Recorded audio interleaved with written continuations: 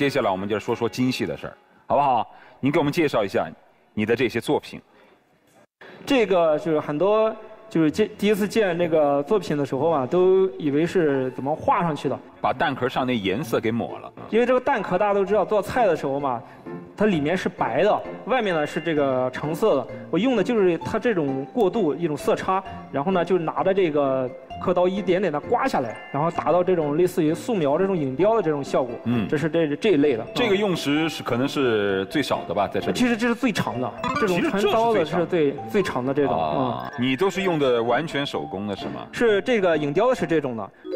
你有没有算过你最复杂的一个作品要下多少刀？大概是这个作品，大概有二十万刀。二十万？十万刀？对。哦哦哦。要多久时间啊？这是用了大概是四十多天。你做了这个十五年了是吧？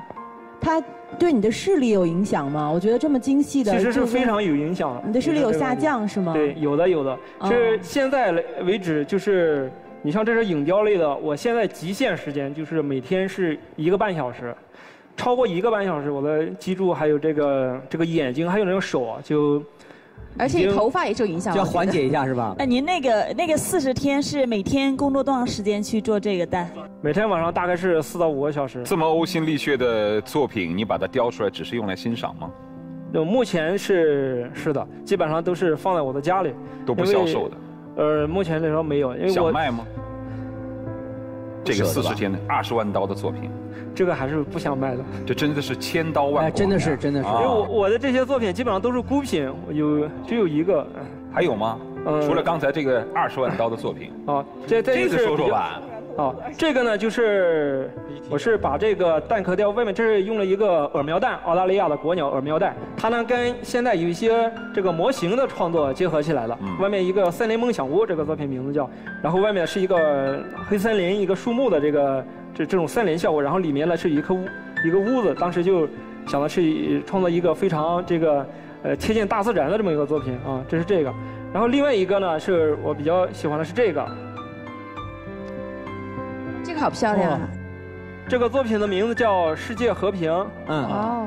然后它那一圈是用这个鹅蛋壳雕刻出来的和平鸽的样子。嗯嗯。然后呢，这上面呢是一个是一个地球仪雕的，这个线条最细可以达到有零点二到零点三毫米，非常细的。哎，你说你做这么些东西，花这么多时间，你也不产生经济效益，那你做这个东西纯粹是就是喜欢，自个儿喜欢就行。对我现在目前来说，这些东西都没有对外的这种这种。也不想卖。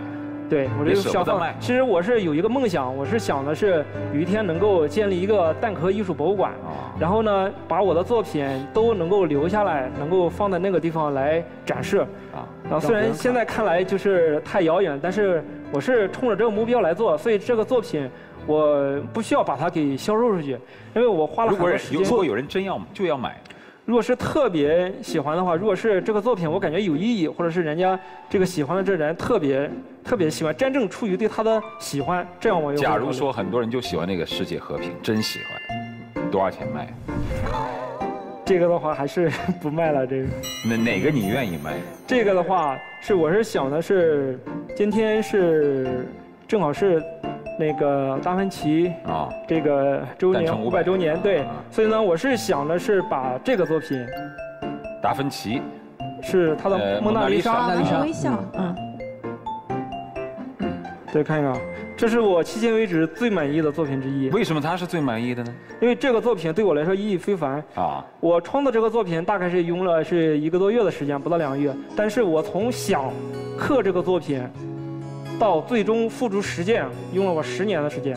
因为大概是零七零八的时候，我就特别想，当时是一个梦想，我就是说，呃，因为也自己也非常喜欢这幅画嘛，能够把它给创造起来。但是一直就是不敢下手，那个技术上也达不到。然后经过这些年呢，就是一直终于在大概是一七年的时候，当时我下定了这个决心，我说现在我可以去把这个作品给创作起来了。所以呢，我是想的是。如果是有人非常感兴趣这个作品了，我可以就是说把它，呃，捐赠出去，然后是以这种类似拍卖的形式，然后把那个钱呢能够全部，呃，捐出去。我想把它捐赠给一个关于儿童自闭症的这么一个机构，自己也是对这个机构非常充满敬意。我自己我也不想有这个东西，对，有意义的。那今天咱们就拍拍了呗，好不好？咱今天就拍了呗。这个价格我可不敢定，这人家十年，你开个价呗。起拍价多少？然后这样，我是要不我写一个我心里的大概的这个价位，嗯，然后呢就是起拍价由您或者是来定。那您就不用写了，您跟我耳语说就行了。知道了，好，那起拍价咱就从两千起。OK，好，三千，三千一次，五千，五千，六千，七七千，七千，八千，八千，九千。一万了，他已经一万了。谁一万？哪个？一万。还有吗？一万一。一万二。一万二一次。一万五。一万五一次。一万五两次。一万六。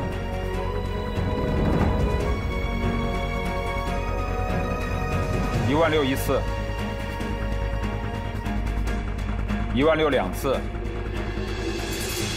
一万六三次。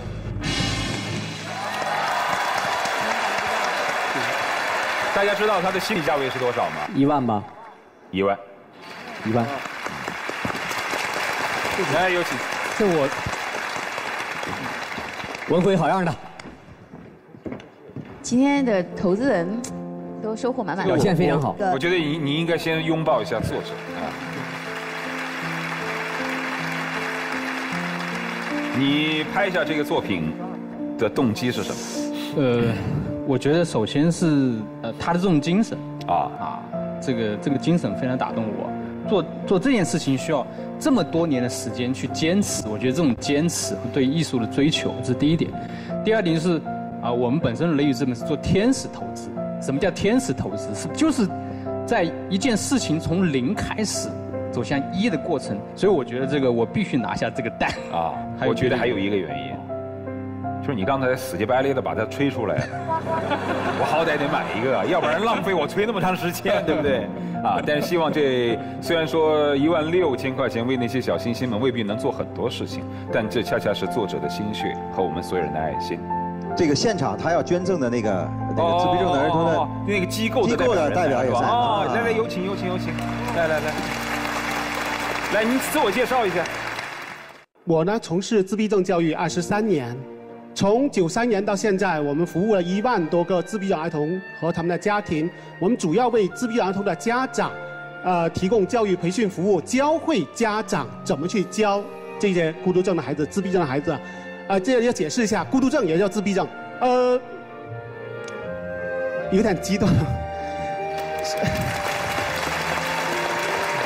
我们知道，孤独症它是这种障碍是终身的，因为它是发育障碍的一种，就是说没有药可治，所以我们找到一种方式，我们要教会他的家长来去教授他，呃，虽然是没办法痊愈，没办法去把它治好，但是通过我们的努力，他是可以从不能生活自理到能够生活自理。他不能和别人去沟通交流，能够用正确的方式和别人去沟通交流。我们希望让大家能够更多的去关注到孤独症人及他们的家庭。呃，感谢像毕凯这样的艺术家，感谢非你莫属。呃，对孤独症群体的关注和支持。好，谢谢。